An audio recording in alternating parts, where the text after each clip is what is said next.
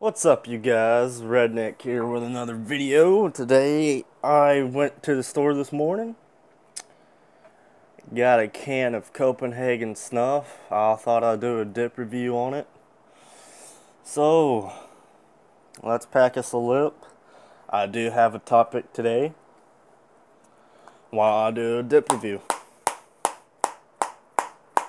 Now, the thing about snuff is the inside of the can. It's it's a fiber fiber board, and there's wax on the inside. I can't really show you, but if you don't know how to dip fine cut all that well, you get a pinch depending on how big you want. Scrape it against the can, and that wax gets on the dip. It's not harmful. It's just there to make sure that you get a pinch, you know. So, gonna go in for about this size since it's snuff.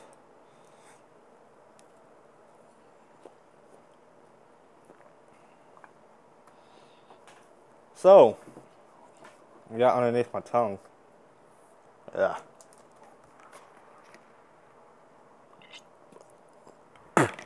thing about snuff, it don't really stay packed because it's such a fine cut. But the taste is wonderful. Um, I usually dip snuff every now and then. Uh, hold on, I gotta go back for a fill, y'all. I dip snuff every now and then just to get a buzz. Because I change my everyday every now and then.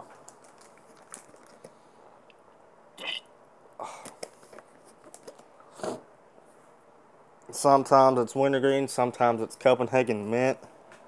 Gotta fix this damn thing.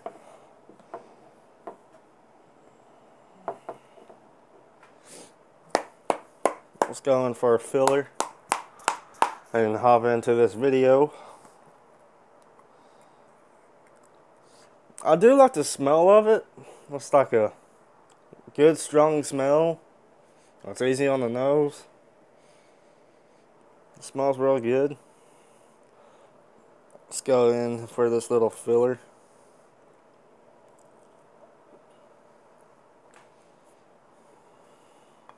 Mm.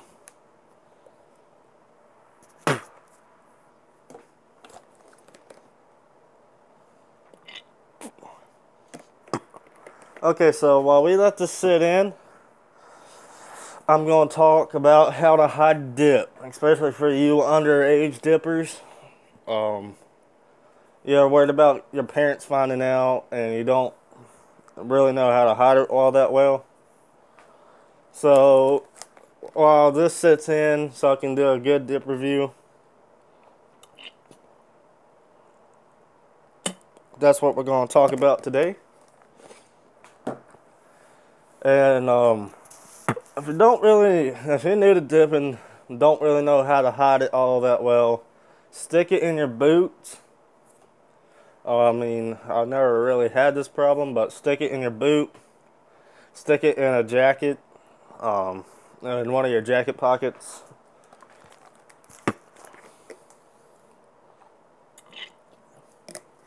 Hide it underneath your clothes. Go outside, dig a hole or something? No, don't do that. That's stupid. Um, and some people, they don't know how to hide it that well in their mouth when they, they're using smokeless tobacco. Best thing you can do, um, especially if you're not around your parents, work on building your pockets. And what a pocket is, is where you put your tobacco just so it like feels comfortable and stuff. I mean, if you're new to dipping, you should already know it's gonna burn a little. And that's completely natural. that's what I'm dipping on. Copenhagen snuff. It's basically natural, just a fine cut. But work on building your pockets. I have pockets here I have my pockets built from all the way over here, all the way up here. I even got pockets on my upper deck.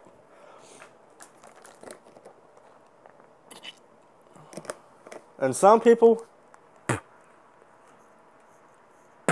they go to pouches just because it's easier to hide. And that's okay. I mean, you dip whatever you want to dip. It's America. So, work on your pockets. Don't get as big as a pinch. Especially, like, if you're home alone and you know it's a good while before your parents come home off of work, whatever the fuck they're going to.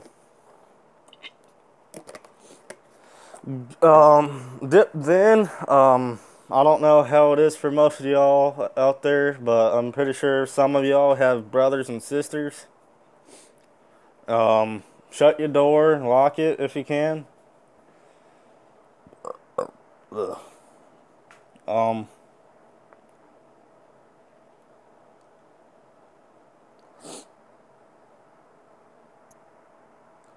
I feel stupid. I forgot what I was gonna say.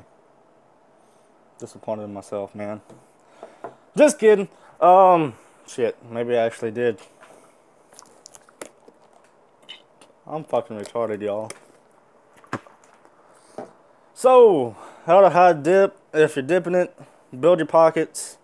Um, best time to do it is either at school, like lunch or something.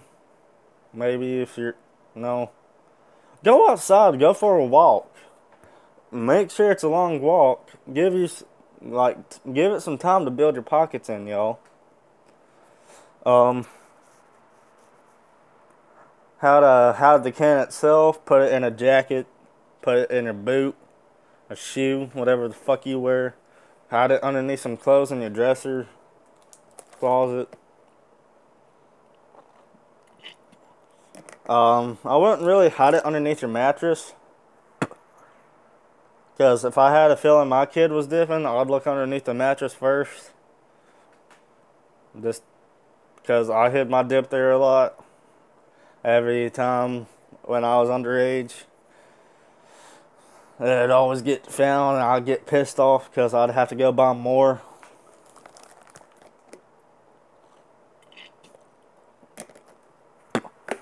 Okay, with that said, that's how you hide your dip. This Copenhagen snuff's been sitting in for good three to four minutes. It's a real fine cut. I'm going to try to show y'all without spilling it all over the fucking place.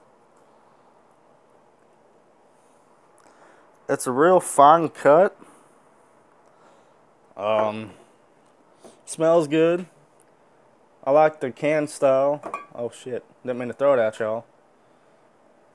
I like the can style. But just give you a better look at how fine the cut is. Look at that.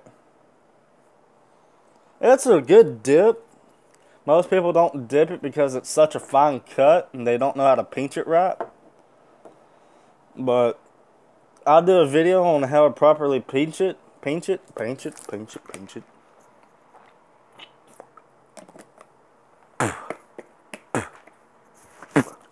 It's a good dip. I like the flavor. You can definitely tell there's a lot of nicotine in it. And that's basically why I dip it sometimes is just to get that butt that little buzz every now and then. I'm not buzzing per se, but I can feel that it's working. And yeah, um uh, rating from 1 to 10, I'll give it a solid 9. I do like the dip. I'm a big Copenhagen fan, if you couldn't tell. Um, I might do some Grizzly Snuff, compare it, and do some comparisons. Um, yeah. Redneck signing off here. Hope you guys enjoyed the video. If you did, leave a like. Comment down below on what you want to see next.